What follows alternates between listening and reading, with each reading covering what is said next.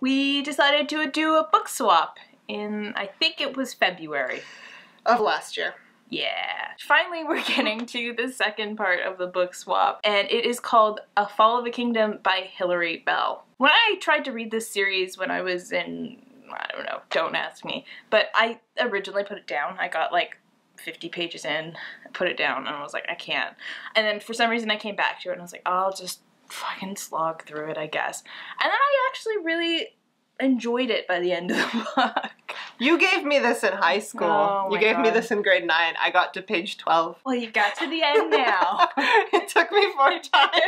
and maybe it's because I've read the other two that I really like this series, but I do have to admit that like they go through character growth and the first part of their character growth is pretty pretty hard to take because they're awful people. Basically what happens in this story is there is a kingdom called Farsala and they've had this long military history where their nobles have been, you know, really great in conquest and they've never been defeated and you know they've gotten really really cocky and there is this empire coming through the world just taking over land over land over land in like a few years they've conquered the land Three two countries and I believe two centuries. yeah, but like they've gotten faster over time is the thing.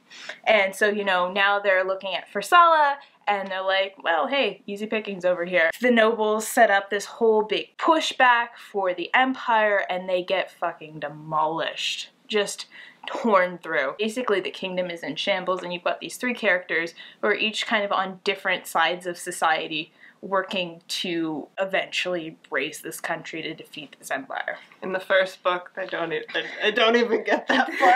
That's the plot of the series, basically. Because in the, the first book, the book ends with the countries has fallen. yeah, And I'm just like, am I a bad person that I'm okay with this? they were an awful society. Oh my god, like that's that's the thing. The entire book, I'm just like, okay, you have told me about books 300 pages, so maybe 280 times why this country is an awful, horrible place, and income the equivalent of the Romans, and they have equality and laws and currency and just all of the good things, and it's little things, little things in the book set me off where it's just like one of the characters pulls into this camp and he's like, wow, there are men and women here, and why the hell are the men cooking the food? That's the woman's job. and like these are people from that empire, and I'm just like, it's like getting so mad, but it's just, but it's just like the society is so screwed up. And that's what pissed me mm-hmm. off. It's just like how if if you want me to root for you, if you want me to you have to give me something. And you're not giving me anything. You're giving me this super corrupt, awful society where the like the nobility treat their peasants worse than their horses. The princess at one point is just like, okay, well, I'm supposed to be being sacrificed, and I'm out here in the elements by myself. I guess I could make a shelter, but that's servants' work. And I'm like, honey, do you see any servants? Do you see anyone? No, no, you don't. Guess what? You're by yourself. Guess what you have to do? Get punched. Like, I was just getting really, really angry at these characters. And so the one guy, he joins with the Empire and he spies for them. And I'm just like, I don't like you as a person either, but get your reasoning.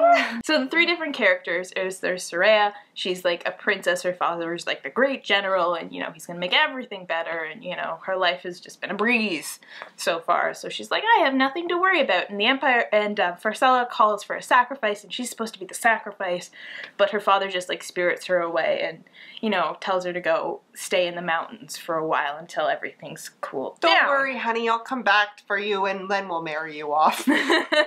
no problem.